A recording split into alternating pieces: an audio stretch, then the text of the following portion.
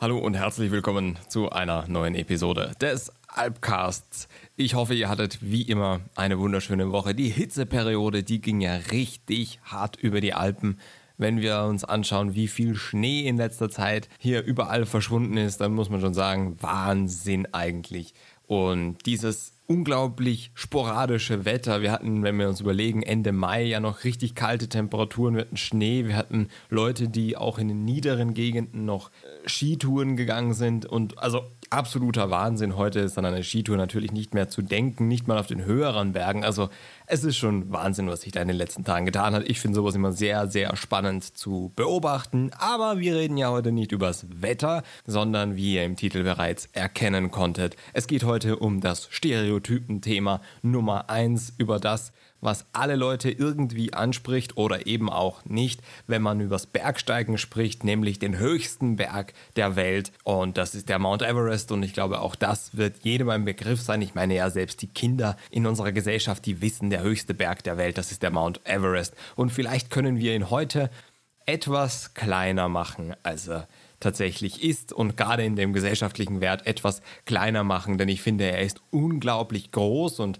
vielleicht, ja, vielleicht muss er ja gar nicht so groß sein. Und vielleicht gibt es ja auch die Schattenseiten, über die man mal sprechen sollte. Viele sind natürlich bekannt, viele dieser Schattenseiten, dazu komme ich gleich noch, gerade in Kombination mit dem Tourismus. Und ich finde aber trotzdem, dass es natürlich mal auch an der Zeit ist, in einem Alpcast, in einem Podcast für Bergsteigerinnen und Bergsteiger so ein bisschen über den höchsten Berg der Welt zu sprechen. Und ich finde, heute ist einfach mal ein guter Anlass dazu. Das Wetter ist schön draußen. Heute kommt der Alpcast ein wenig verspätet, weil ich heute auch so ein bisschen mal das Wetter genossen habe, mal ein bisschen einen, ja, fast fast schon einen Urlaubstag genommen habe. Unglaublich, am Sonntag mache ich normalerweise keinen Urlaub, da sitze ich und arbeite. Aber naja, muss auch mal sein und wenn das Wetter so schön ist, dann lädt die Außenwelt ja doch in gewisser Weise ein zum Verweilen. Insofern, verzeiht mir die Verspätung, aber wir sind ja noch im Sonntag und dementsprechend da reden wir über den höchsten Berg der Welt, den Mount Everest. Über 8800 Meter ist er hoch und er steht an der Grenze zwischen Nepal und China. Es gibt einen Aufstieg über die chinesische Seite und einen Aufstieg über die nepalesische Seite, die als die Hauptrouten, die sogenannten Normalwege gelten. Da wäre also einmal einmal die Seite aus einem Land, das definitiv von der Armut gebeutelt ist, eines der ärmsten Länder der Welt, Nepal. Und dann auf der anderen Seite das Land China, ein sehr, sehr mächtig, wirtschaftlich extrem mächtiger Staat, aber auch kulturell natürlich mit einer langen Tradition, mit einer langen Geschichte, die unter anderem auch mit dem Gebirge in gewisser Weise verbunden ist, gerade wenn man in die zutiefst schreckliche Vergangenheit, aber auch in die nicht unproblematische Gegenwart mit Tibet schaut, das ja ganz, ganz stark mit China im guten wie auch im schlechten Sinne verknüpft ist. In diesem Sinne muss man also sagen, ein Berg, der zwischen zwei Ländern steht, die unterschiedlicher eigentlich nicht sein könnten, obwohl sie direkte Nachbarn sind. Getrennt sind sie durch das Himalaya-Gebirge. Und das Himalaya-Gebirge, das ist unfassbar groß. Es erstreckt sich von von dem Osten Nepals bis nach Pakistan ins Karakorum in einem Ableger. Und in dieser Gebirgskette stehen im Prinzip alle 8000er, also stehen alle 8000er und auch viele andere sehr eindrucksvolle, sehr berühmte Berge, die nicht 8000 Meter hoch sind. Und in diesem Sinne kann man sagen, der Mount Everest ist die Spitze, wortwörtlich, eines Gebirges, aber in Wirklichkeit ist er nur ein Teil der großen Masse. Denn es gibt 14 8000er, es gibt unzählige 7 7000er und 6000er, viele davon sogar unbestiegen. Diese Berge haben keine Namen, diese Berge haben keinen Erstbesteiger und kein Kreuz oder keine Fahnen am Gipfel dementsprechend. Also irgendwie ist er zwar was Besonderes, aber doch eigentlich könnte er, wenn man nicht genau hinschaut, in der Masse untergehen. Denn gerade sein Nachbarberg, der ist gar nicht so viel höher, äh, so viel niedriger, der Lotse und die berühmte Lotse-Flanke, von der kennt man natürlich einige Bilder. Und vom Süden kommend teilen sich der Mount Everest und der Lotse einen Aufstiegsweg bis zu einem gewissen Punkt, wo, wo, an dem sie sich dann quasi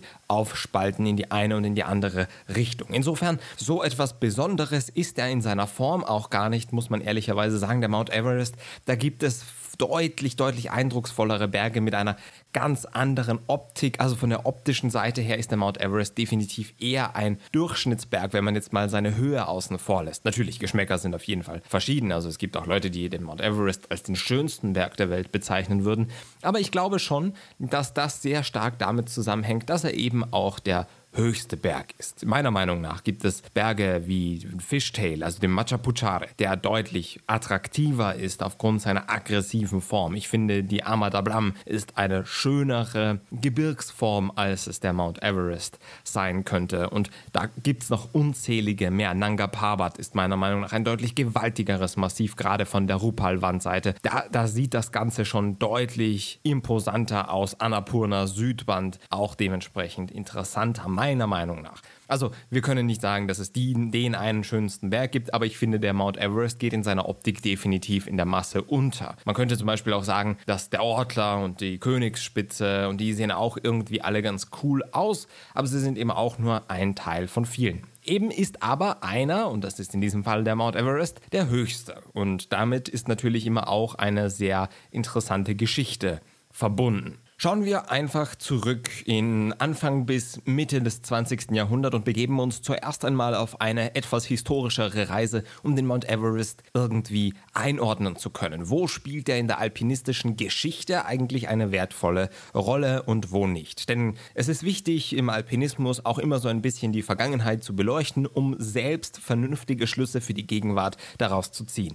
Deshalb fangen wir da an, wo ein erster sehr berühmter Versuch endet endete 1924 die britische Mount Everest-Expedition. George Mallory war nicht das erste Mal, aber war zunächst in einem sehr vielversprechenden Versuch am Berg am Mount Everest zusammen mit Andrew Irvine unterwegs. Die beiden, die starben, und das kürze ich jetzt hier ab. George Mallory gibt es im Legenden im Porträt in der Playlist zu finden. Sehr, sehr spannender Mann. George Mallory und Andrew Irvine starben beide auf diesem Berg. Einer wurde gefunden, Mallory nämlich, und der andere Bergsteiger Andrew Irvine, der blieb bis heute oder bleibt bis heute verschollen. Irgendwo ist er. Sie starben knapp unterm Gipfel, wobei nicht zu 100% geklärt werden konnte, ob sie am Aufstiegsweg oder am Abstiegsweg letztlich umgekommen sind. Es deuten alle Zeichen darauf hin, dass sie beim Aufstieg abgestürzt sind, aber theoretisch könnte es sogar noch möglich sein, dass Andrew Irvine eine Kamera mit sich trägt oder trug in dem Fall und immer noch bei sich hat, dessen Film man auswerten könnte und dementsprechend feststellen könnte, ob es ein Bild vom Mount Everest Everest-Gipfel gibt. Das ließe sich relativ leicht abgleichen. Das Problem ist nur, Andrew Irvine ist verschwunden und wurde selbst in Suchexpeditionen nie gefunden. Es könnte also sein, dass eines Tages in 50 oder 100 Jahren diese Möglichkeit besteht, dass wir diese Geschichte nochmal neu aufrollen ob sich daran dann am Ende des Tages wirklich nochmal was verändern wird an dem Resultat, nämlich an der Erstbesteigung 1953 von Edmund Hillary und Tenzing Norgay? Das wissen wir natürlich nicht. Und da kommen wir gleich zum nächsten spannenden Punkt. George Mallory war ein Teil einer britischen Expedition und der Mount Everest wurde im, im Zuge einer britischen Expedition erst bestiegen. Und dazu muss man nun wissen, dass Indien damals ein wichtiger Knotenpunkt für die britische Armee war. Und das Interessante ist aber, dass die Briten natürlich ein großes Interesse, gerade militärisches Interesse daran hatten, den höchsten Berg der Welt zu besteigen. Sie versprachen sich dadurch Prestige, Macht, Einfluss und letztlich nicht nur die Tatsache, dass sie es jedem anderen Land der Welt zuvorkommen hätten können, wenn sie den Mount Everest erst besteigen hätten können. Und dementsprechend haben sie da auch sehr viele Ressourcen hinein investiert. Das Problem ist nur, dass die Briten in diesem Fall nie ganz naja, sagen wir mal, freundlich vorgegangen sind. Im Prinzip haben sie sich, wie es Reinhold Messner mal so schön beschrieben hat, durch Darjeeling durchgeschossen, bis sie an der chinesischen Grenze standen. Und in China, in Tibet, haben sie sich dann mit den Tibetern auch noch verscherzt. Denn die wollten eigentlich gar nicht, dass dieser Berg bestiegen wird. Die Tibeter hatten ein gläubiges Verhältnis, ein religiöses Verhältnis zu den Bergen, haben sie bis heute.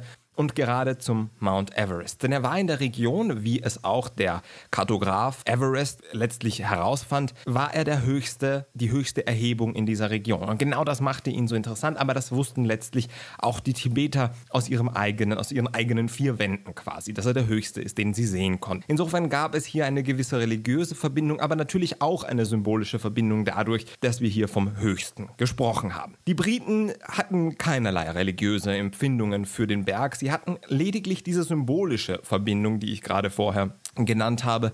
Und genau das hat die Briten dorthin gebracht und auch mit der gewissen Aggressivität und mit diesem Kontrollwahn, den sie gegenüber den Einwohnern, den ärmlichen Völkern in Tibet, aber auch in Darjeeling in Indien hatten. Jetzt sind sie also im Basislager und von da aus sagen eigentlich die Tibeter, nein, wir wollen nicht, dass ihr diesen Berg besteigt, aber sie konnten nicht viel dagegen machen. Die Briten haben ihnen das Angebot gemacht, dass sie quasi einfach den Berg besteigen und die Tibeter sie gewähren lassen. Äh, die andere Option wäre gewesen, dass die Briten die Tibeter umbringen. Insofern wollten das die Tibeter natürlich nicht. Sie waren waffentechnisch nicht so ausgestattet, dass sie es mit einer britischen Armee hätten aufnehmen können. Insofern war es logisch oder die logische Konsequenz, dass die Briten diesen Berg erst besteigen durften bzw. einen ersten Versuch gewagt haben. Die nepalesische Seite, die war grundsätzlich schon bekannt. Ironischerweise dachten die Briten aber, dass es über die Nordseite, also über die chinesische Seite, deutlich einfacher sei. Heute könnte man sagen, es nimmt sich ehrlicherweise nicht viel. Damals hätte man gesagt, der Kumbu Icefall in Nepal auf der nepalesischen Seite, der wäre nicht zu überwinden gewesen. Unter den heutigen Umständen wissen wir, dass die nepalesische Seite vielleicht sogar um einen Tick einfacher ist als die chinesische Seite. Insofern, na gut, die Entdecker, die wussten es eben nicht besser und die hatten natürlich auch dementsprechend erschwerte Voraussetzungen. Kommen wir also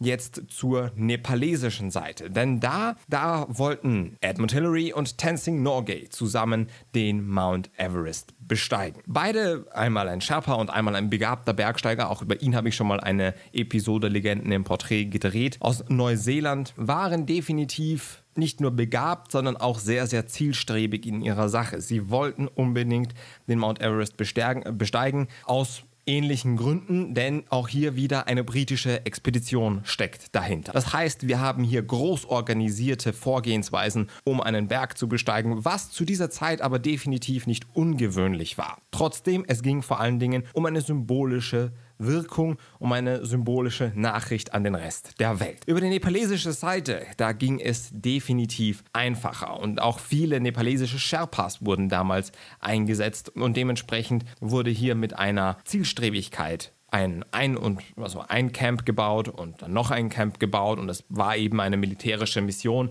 Insofern war das dementsprechend strukturiert und letztlich fiel dann im Jahr 1953, nämlich ganz genau am 29. Mai, tatsächlich die Besteigung des höchsten Berges der Erde. Wenn Edmund Hillary heute oder kurz vor seinem Tod gewusst hätte, was er damit ins Rollen bringt, ich persönlich würde bezweifeln, dass er es mit gutem Gewissen damals 1953 trotzdem gemacht hätte hätte. Wie komme ich zu dieser Annahme? In den letzten Jahrzehnten hat sich nämlich viel verändert. Gerade zwischen 1953 und 1990 da passierte am Mount Everest durchschnittlich viel. Es war Betrieb, es war immer noch ein bisschen Erkundungszeit. Wir hatten noch nicht die technischen Möglichkeiten der Analyse der Region über Satelliten, über professionellere Kartografien. Das war alles noch nicht so möglich und dementsprechend war es immer noch eine gewisse Entdeckungsreise, auf die man sich begab in dieser Zeit, wenn man mehr über den Mount Everest erfahren wollte.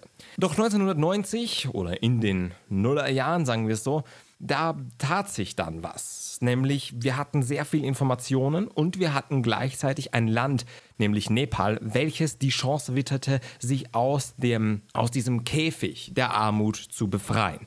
Nepal war 1990 in den Nullerjahren ein unglaublich heruntergekommenes Land. Es gab keine asphaltierten Straßen, es gab keine großartigen Siedlungen mit Zentren, sondern es gab nur kleine Dörfer, teilweise aus Lehm gebaut oder großteils aus Lehm gebaut, wenig tatsächlich aus Beton. Es gab keine echte Wirtschaft, es gab keine große Infrastruktur. All das war einfach nicht vorhanden. Ein armes Land eben. Mit dem Mount Everest witterten dann die Nepalesen und die nepalesischen Regierungen, welche manchmal mehr einem Regime gleichen als einer, einer richtigen Regierung, aber in erster Linie entsprechen sie dem Chaos, der Chaosregierung.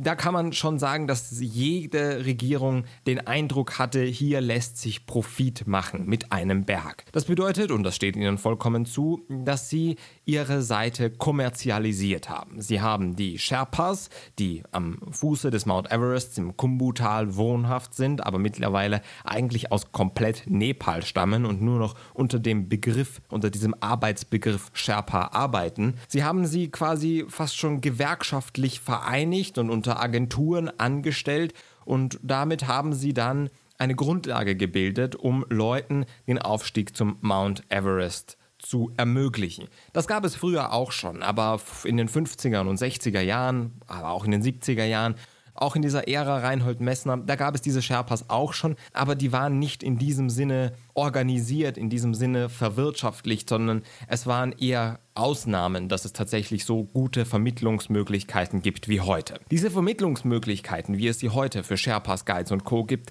das ist nicht zufällig. Das ist auch keine, das ist auch nicht aus einem Chaos heraus entstanden, sondern die Leute in Nepal, die waren immer schon darauf angewiesen, das Schicksal ihres Lebens selbst in die Hand zu nehmen. Und ich habe in einer ganz alten Podcast-Episode schon viel über die Sherpas gesprochen, weshalb wir das jetzt hier nicht nochmal aufrollen müssen. Ich glaube, Episode 2 war es, wenn es mir nicht täuscht. Die Sache am Mount Everest ist aber die, dadurch, dass es der höchste Berg der Welt ist, auf der einen Seite und auf der anderen Seite natürlich ein gewisses Interesse seitens der Bevölkerung da ist, dass sie mit diesem Berg vielleicht auch Geld verdienen, um sich selber und die Familie zu ernähren. Denn darum geht es den Sherpas in erster Linie.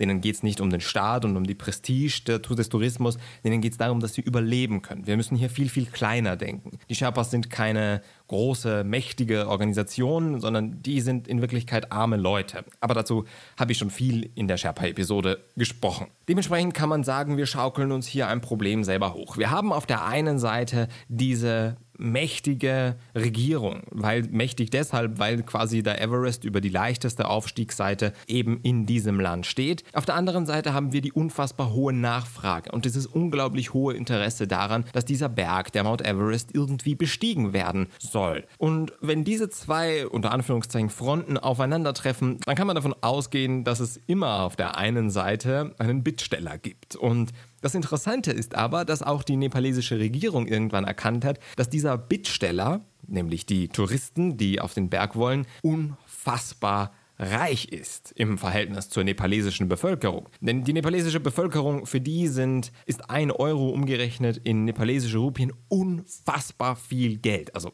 das ist vielleicht ein bisschen übertrieben, aber es ist deutlich mehr wert als das, was wir unter einem Euro verstehen. Wir können uns in, unserem, in unseren Heimatländern fast nichts um einen Euro kaufen. In Nepal kann man für einen Euro definitiv, ja, sich für einen Tag zumindest ernähren. Das ist ein sehr, sehr großer Unterschied. Ich kriege in Österreich für einen Euro nicht mal einen Lutscher. Insofern, also wir sprechen hier von zwei sehr weit auseinanderklaffenden Welten. Und das hat irgendwann die nepalesische Regierung natürlich erkannt und hat gesagt, okay, wir passen die Preise, das, was wir verlangen, um unser Land am Leben zu halten und um uns leider, leider letztlich auch selbst sehr stark zu bereichern, wir passen das einfach an die Gegebenheiten des, des, des, des Gastes, des Touristen einfach an und schauen, wie weit können wir das Ganze eigentlich nach oben treiben. Gefunden wurde diese Obergrenze zum heutigen Zeitpunkt Zeitpunkt bei 11.000 Dollar. Und das ist eine verdammt äh, große Stange Geld für jemanden, der einfach dort nur Bergsteigen gehen möchte. Und wir sprechen hier ausschließlich von einem Permit und nicht von einer ja, von einer fertigen Expedition. Davon sind wir an diesem Punkt noch sehr, sehr weit entfernt. Man muss für eine Basic-Expedition auf den Everest schon mal 25.000 Euro ungefähr einrechnen. Für sehr luxuriöse Expeditionen rechnet man am besten nochmal 50.000 bis 75.000 Euro ein. Das bedeutet, wir können uns überlegen, ob wir uns einen schönen Mittelklasse-Mercedes kaufen oder auf den Everest steigen. Also, worauf ich hinaus will, seht ihr eigentlich schon. Das ist ein Sport für Reiche geworden, den Mount Everest zu besteigen. Denn die anderen 8000er und die 7000er sowieso, die sind deutlich deutlich, deutlich günstiger in ihrer Permit, aber auch in der Organisation drumherum. Denn natürlich hat nicht nur der nepalesische Staat irgendwann verstanden, dass wir hier von einem Goldesel namens westlicher Welt sprechen, sondern auch die Agenturen, die hinter den Sherpas stecken. Das Interessante ist, wenn man mit den Sherpas selbst spricht, den Sherpas, den echten Sherpas, die würden nicht ansatzweise so viel Geld verlangen wie ihre Agenturen, denn sie sind tatsächlich nur daran interessiert zu überleben. Sie sind, sie haben sich von dem Gedanken, den echten Sherpas in, in, in, in äh, nicht in Kathmandu oder in den größeren Städten, sondern im Kumbu Valley am Fuße des Mount Everest, um es jetzt vereinfacht zu formulieren, die sind deutlich, oder die, die in Namche Bazaar zum Beispiel leben, die sind deutlich bodenständiger und die sind deutlich kleiner in ihren Interessen orientiert. Sie wollen einfach nur ihre Familie ernähren. Sie wollen ein Kind haben, das sie in die Schule schicken können und so weiter. Die wollen nicht nach Kathmandu ziehen und da dann, keine Ahnung, ein, selber ein großes Business aufziehen oder Milliardäre werden, das wollen sie gar nicht. So sind sie auch kulturell überhaupt nicht gestrickt. Ein einfaches Leben ist das, was diesen Menschen in der Regel genügt, wobei es natürlich hier auch einzelne Ausreißer gibt. Sie müssen sich aber über diese Agenturen organisieren, was dann letztlich dazu führt, dass die Preise ganz schön hoch sind, weil die Agenturen sich ja auch irgendwo finanzieren möchten und die leben ja dann letztlich in, in Kathmandu und haben dementsprechend deutlich größere Kosten und haben dementsprechend auch das Bedürfnis, ja, sich vielleicht ordentlich daran zu bereichern. Denn klar, weil wenn ich 5000 Euro für eine Expedition, für einen Service verlangen kann und er wird bezahlt und ich kann 8000 Euro verlangen und er wird genauso bezahlt, dann wäre ich ja blöd, wenn ich hier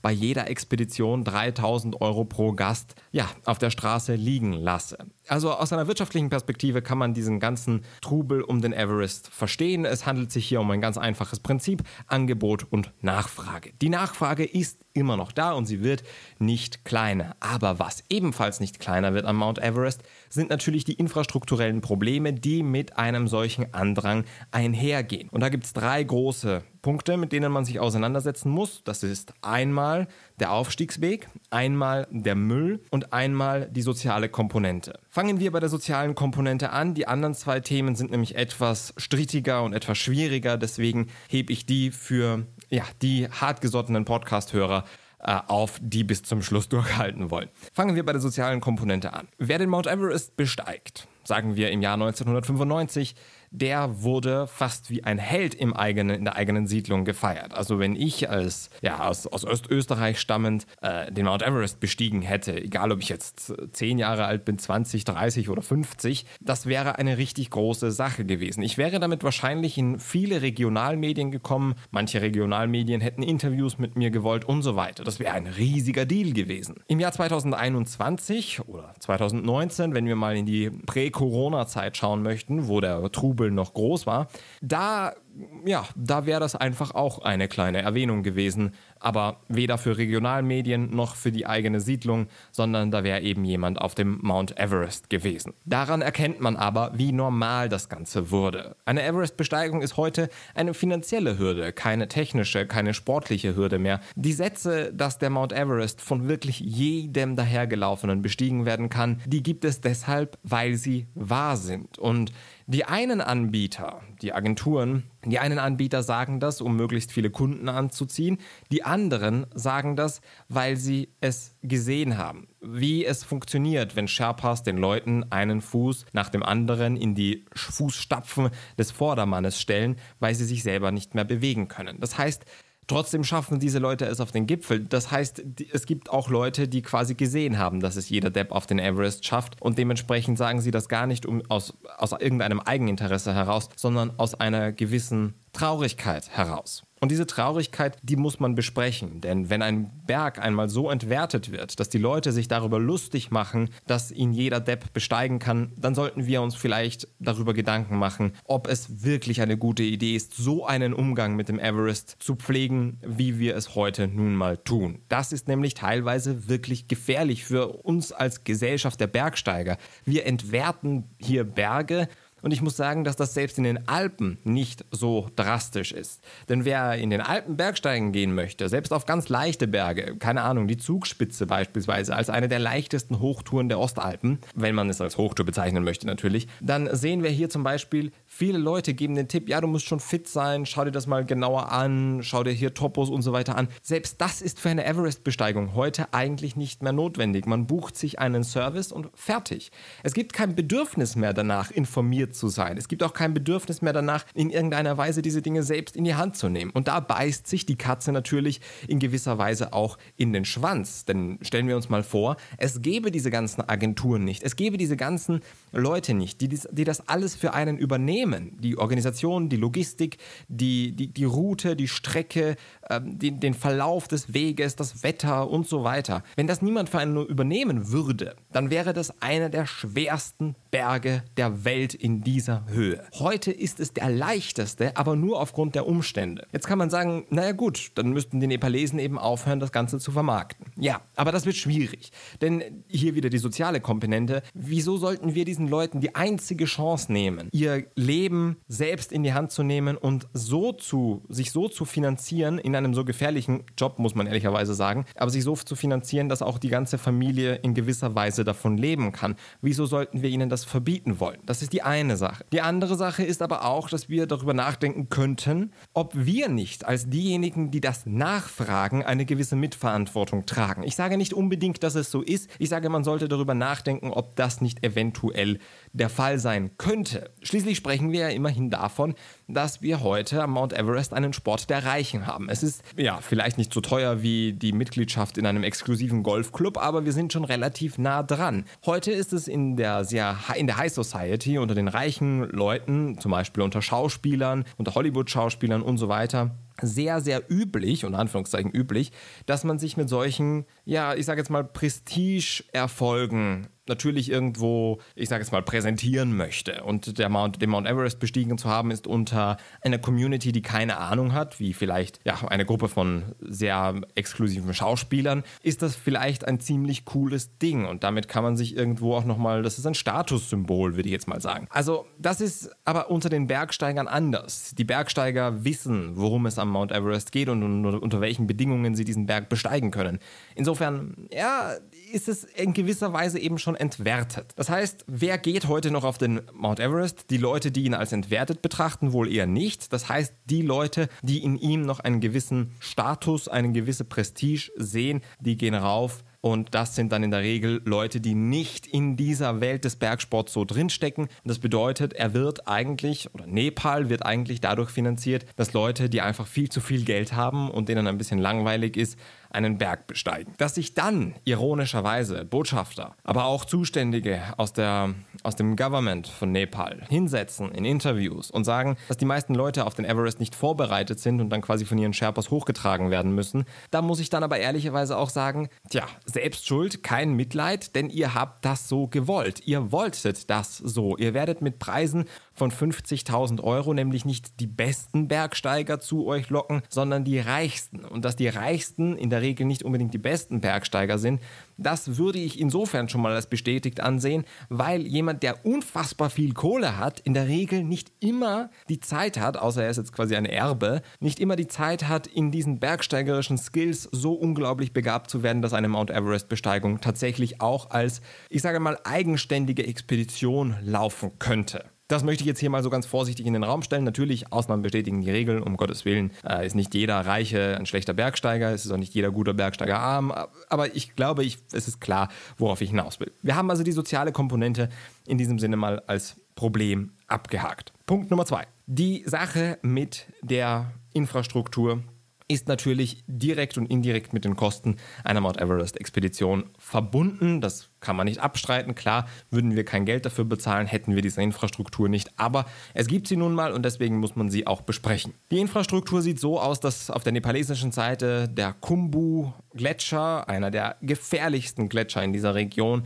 so abgesichert wird, dass es sehr unwahrscheinlich ist, dass ein Bergsteiger oder ein Besteiger des Mount Everest tatsächlich in Gefahr kommen könnte. Die größte Gefahr herrscht für die sogenannten Eisfall-Doktoren, die Icefall Doctors. Bergsteigers, sie haben unterschiedliche Namen. Diese Leute, diese unfassbar begabten Bergsteiger sind dafür zuständig, vor der Expeditionssaison in den Gletscher einzusteigen und Leitern, Fixseile und Co. und so Treppen über Gletscherspalten so einzurichten, dass auch der dümmste Bergsteiger drüber kommt. Davon gibt es ganz viele Videos im Internet und man sieht auch da wieder, die Leute finden das großartig und spektakulär, weil sie eben nicht wissen, was da für ein System dahinter steckt. In Wirklichkeit ist es eine traurige Veranstaltung. Aber das sei jetzt mal dahingestellt. Ich möchte jetzt nicht hier schon wieder zurückschweifen. Die Sache ist die, dass diese Infrastruktur nicht nur aufgrund des, des Preises, der, der bezahlt wird, eingerichtet wird, sondern auch als eine Art Angebot für die nächste Saison. Ja, wenn die Leute nämlich, die nach Hause kommen von ihrer Expedition, sagen, oh, das war ganz einfach, weil da waren Leute, die haben das für mich eingerichtet und so weiter, dann, dann ist das natürlich auch in gewisser Weise eine Werbung. Und deswegen machen die das Jahr für Jahr und sie müssen es auch Jahr für Jahr neu machen, denn der Gletscher bewegt sich regelmäßig. Also für jede Saison, in der einem der, der Mount Everest bestiegen werden kann, muss das wieder neu eingerichtet werden, alle Leitern und Co. Jedes Jahr sterben Leute dabei oder fast jedes Jahr sterben Leute dabei und manchmal sind es aufgrund von Lawinen sehr viele, manchmal ist es auch nur ein Einzelner, der irgendwo abstürzt, weil das eben eine unglaublich gefährliche Aufgabe ist. Ich kritisiere daran immer, naja, warum machen das nicht die Bergsteiger selber? Schließlich wollen sie auf den Berg rauf. Ich finde, man sollte Gefahr nicht verkaufen können in diesem Sinne oder dass die Gefahrenvermeidung kaufen können. Ich finde, das ist irgendwie unethisch, wenn ich jemandem Geld dafür gebe, dass er für mich sozusagen ähm, die, die Lebensgefahr übernimmt. Also klar, es ist irgendwo eine Dienstleistung. Also ich ich bezahle ja auch jemanden, dass er, dass er mir, weiß ich nicht, meine Abflussverstopfung oder so löst. Aber das ist ja auch für den kein lebensgefährlicher Job, höchstens ein ekelhafter Job. Aber ich glaube, ihr, ihr wisst, was der Punkt dahinter ist. Das heißt, diese Infrastruktur finde ich schon mal problematisch. Die nächste infrastrukturelle Problematik ist natürlich der Stau, der hier entsteht. Wir reden ja hier immer noch von einem Berg. Und ein Berg, ja, der wird in gewisser Weise natürlich dadurch ausgezeichnet, dass es mal Engstellen gibt, exponierte Stellen, durch das Wetter bedingt, äh, diverse neue Probleme, die vielleicht nicht zu erwarten waren, Neuschnee und so weiter. Das alles führt dazu, dass der, die, die Bergsteiger, die oftmals eben nicht auf diese Expedition vorbereitet sind, natürlich in in Problemen, in Probleme geraten und in, in, in, in Panik geraten oder vielleicht irgendwelche ja, Ängste bekommen. Und da wird es natürlich dann gefährlich, weil durch diesen Stau äh, der dann da entsteht, da, ja, das, das ist ein, ein Riesenproblem, denn je länger man auf diesem Berg ist, desto schwieriger wird es dann quasi auch, die Lawinengefahr wieder einzuschätzen und so weiter. Unzählige Probleme bringt das alles mit sich, ist alles nicht so leicht. Aber das größte Problem, und das ist jetzt Punkt Nummer drei, ist definitiv der Müll. Es ist interessant, wie gut die Propaganda diesbezüglich funktioniert, meiner Meinung nach. Der Everest ist ja müllfrei, da gibt es gar nicht so viel Müll und so weiter. Es gibt ja mittlerweile eigene Müllsherpas und so weiter. Ich weiß nicht, wer diese Propaganda ähm, installiert hat, aber ich würde jetzt mal behaupten, es handelt sich dabei um Leute, die direkt oder indirekt vom Mount Everest Tourismus profitieren könnten. Ich glaube, dass Leute, die ein Reisebüro oder Leute, die so Agenturen leiten, das gerne sagen, weil sie sonst natürlich Angst haben, dass die Leute nicht mehr kommen wollen. Aber es ist eine Müllhalde. Es gibt Bilder, die sehr bewusst so präsentiert werden, dass es eine eindrucksvolle Expedition ist, weil man sich selbst gegenüber seinem Umfeld natürlich auch als echter und großer Bergsteiger präsentieren möchte. Aber es gibt auch wenige, leider sind es ja wenige, die die, die Realität abbilden. Und da ist es einfach nur mal Fakt, dass überall Sauerstoffflaschen herumliegen, kaputte Zelte, die vom Wind verweht worden sind und so weiter und so fort. Wir sprechen hier von unglaublichen Massen von Müll und nur wenige Expeditionen sind bereit, diese, diese Wahrheiten auch tatsächlich zu zeigen.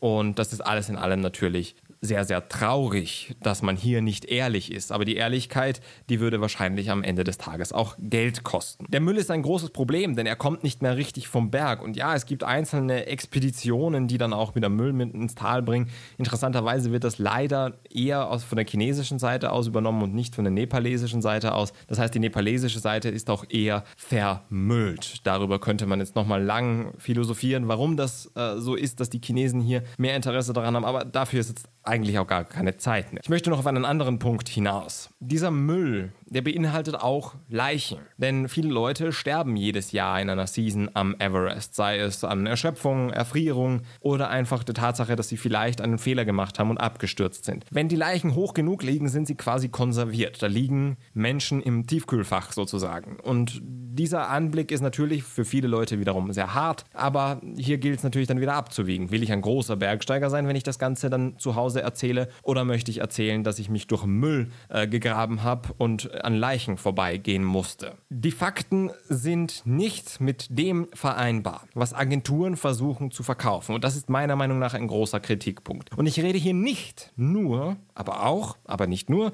von nepalesischen Agenturen, sondern vor allen Dingen von westlichen Agenturen, die meistens das Doppelte verlangen können. Wenn ihr nämlich bei einheimischen Agenturen euch mit den Leuten ein bisschen länger unterhaltet und vielleicht auch ein bisschen verhandeln könnt, dann würdet ihr die gleiche Expedition zu den gleichen Konditionen für deutlich, deutlich weniger Geld bekommen. Die westlichen Agenturen und Reisebüros zwacken sich da so unfassbar viel Geld ab dass es eine Frechheit ist, dass sie nicht mal die Cojones besitzen, in einer gewissen Ehrlichkeit auszuformulieren, dass der Mount Everest nicht nur ein wunderschöner Berg ist und dass das nicht alles nur eine romantische Besteigung ist, sondern dass wir hier Menschen ausbeuten, dass wir hier Leute in Lebensgefahr bringen, die sich in Lebensgefahr bringen, weil wir dorthin wollen, dass wir sehr viel Müll hinterlassen werden, ob wir das wollen oder nicht, dass wir an sehr viel Müll vorbeigehen werden, um den wir uns hoffentlich nicht scheren, weil sonst hätten wir ein echt schlechtes Gewissen, dass wir uns damit beschäftigen müssen, dass wir an Leichen vorbeigehen, die nicht runtertransportiert werden, weil dafür leider keine Kapazitäten da sind und leider nie niemand dafür bezahlt und nur dann irgendetwas passiert in Nepal oder auch in China, wenn dafür bezahlt wird. Und das alles, das verschweigen diese Agenturen natürlich, logischerweise. Brauchen wir nicht drüber reden, warum. Ich bin jetzt kein Idiot. Wir wissen schon alle Bescheid, dass es hier um Marketing